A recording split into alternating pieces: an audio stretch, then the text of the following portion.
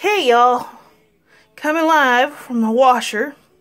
I have such an exciting day today. I'm grating up Zote soap to go in the laundry.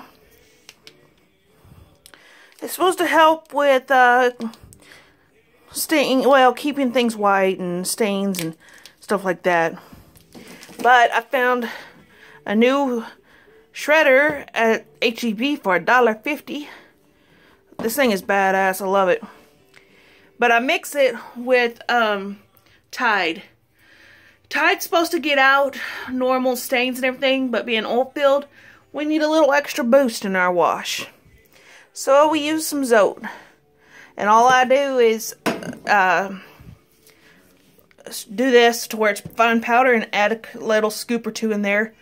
Just depends on how bad it is. I have to rewash his uniforms because uh, the starch and the FR material is too hard on him and it breaks him out. So, just depends on what I'm washing. I add a few spoonfuls to a few cups or whatever. So, that's all I'm doing today, guys. Not a whole lot. It's cold and icky here in Texas. Hope y'all have a wonderful day. Take care.